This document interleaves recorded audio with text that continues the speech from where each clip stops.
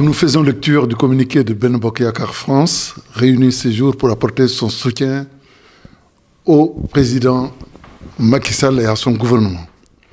Suite au reportage de la BBC évoquant des rumeurs de corruption sur des contrats pétroliers et gaziers, la coalition Ben de France s'indigne très fortement de ces pratiques partiales qui ont pour but de saper notre stabilité sociale et notre cohésion nationale. Nous condamnons fermement la récupération politicienne de cette affaire. Nous rappelons que toute personne bénéficie de la présomption d'innocence. Maintenant que la justice a été saisie, nous demandons à tous d'attendre la manifestation de la vérité. Nous ne devons pas tomber dans le piège de certains esprits mal intentionnés qui veulent déstabiliser le pays. Par ailleurs, nous rappelons que c'est le président Macky Sall et son gouvernement qui ont été à l'initiative de plusieurs actes ayant pour but la transparence dans la gestion de nos ressources. L'adhésion volontaire à l'ITI, un organe de transparence très exigeante. Le référendum de 2016, qui a constitutionnalisé les ressources naturelles comme propriété du peuple.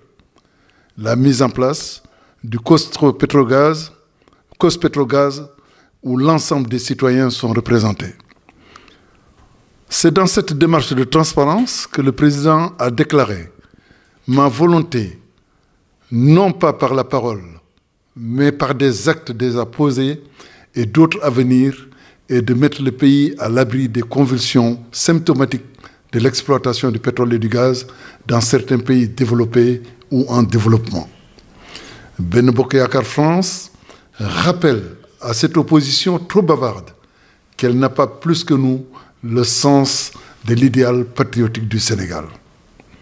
Ben Akar, France invite l'opposition à avoir le courage de débattre, l'intelligence de pouvoir formuler des propositions réelles et sérieuses la page des élections présidentielles est tournée.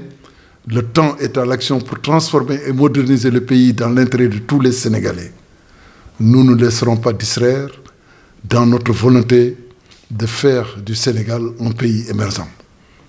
Enfin, Ben Yakar France réaffirme son soutien au président Macky Sall et à son gouvernement. Vive la République, vive le Sénégal.